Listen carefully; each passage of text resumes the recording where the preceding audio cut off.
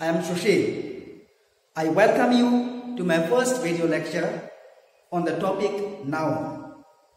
Noun is one of the parts of speech and it is very important in English language and grammar, in speaking, writing, reading and even in teaching. I will explain this topic in very simple and easy language. So, let us begin this topic. Noun. Definition. What is a noun? Noun is a name of a person, a place, an animal, or a thing is called noun.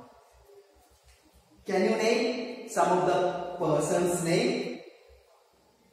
Ranjan, Ravi, Anuranjan, Ramesh, good can you name some of the places name Simdega Rourkela Ranchi, good. Can you name some of the animals name tiger lion okay can you name some of the things name Table, chair, chalk, dustbin. Okay. That means you have understood what is a noun.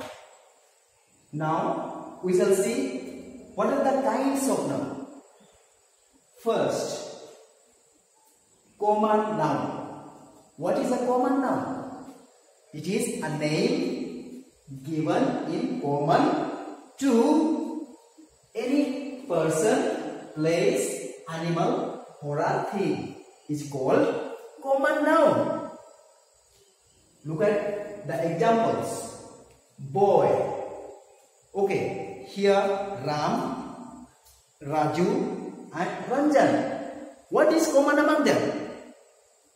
Boy, because all are boys girl, Sita, Gita and Amisha.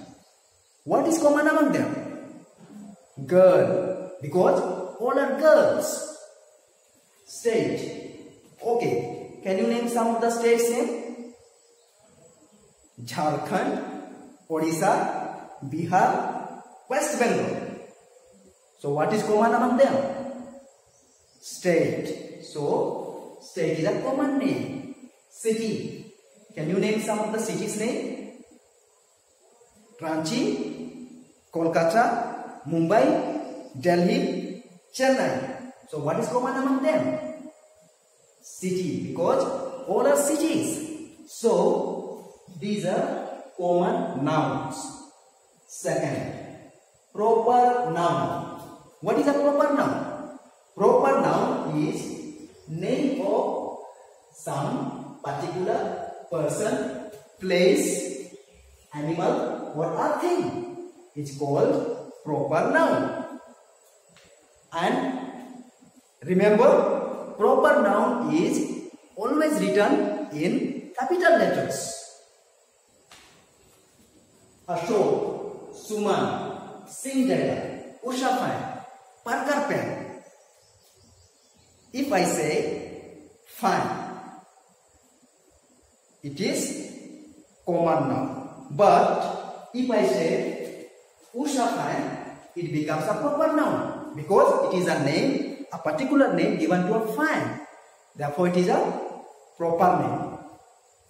If I say only pen, then it is a common noun. But if I say Parker pen, it is a proper noun because it is a name given to a particular pen that is Parker pen. So these are proper nouns.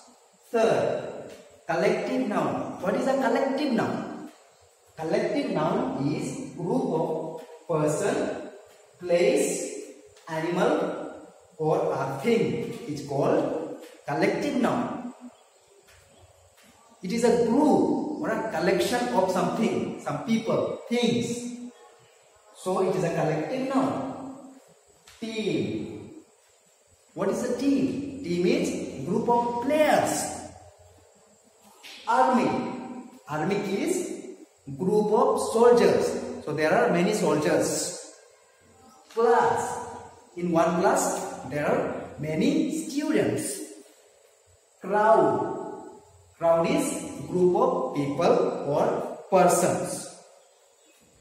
Herd. Herd is group of animals. So there are many animals. Family. Family is a group of members. Many members make one family. So these words are collective nouns.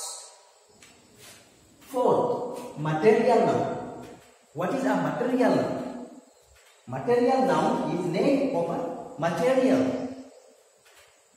So you can name many materials. There are many materials which are some are made naturally and some are human made. You can name many materials like gold, silver, glass, wood, stone, even air, water, etc. These are materials nouns. Fifth, abstract noun. What is abstract noun? Abstract noun, it does not exist as a material. So which does not exist as a material, we cannot see, cannot touch, we cannot smell. Like wisdom, bravery, hatred, love, sleep. Suppose I say, show me wisdom. You cannot show me wisdom because you have not seen. You cannot see. So, these are abstract nouns. Sixth, countable noun. What is countable? It is very simple and easy. Which you can count. 1, 2, 3, 4, 5, etc. etc. So, examples book, pen, apple, chair, bench, chalk, etc. etc. You can say, I have five books, I have two pens, I have three apples, we have ten chairs, etc. So you can count. So which you can count is countable noun. Next, seventh one, uncountable noun. Uncountable is also very simple. It is opposite of countable. That is uncountable. So, which you cannot count, like milk, oil, gold, mud, etc. If I ask you, how many milk did you drink? You cannot tell. Or if I give you a glass of milk and tell you to count, you cannot count because it is uncountable. If I ask you, how many oil did I apply on my body? You cannot tell because oil is uncountable. You cannot count. So these are uncountable nouns. So we have seen noun, the definition and the kinds of noun in one shot. I hope you have understood. Thank you.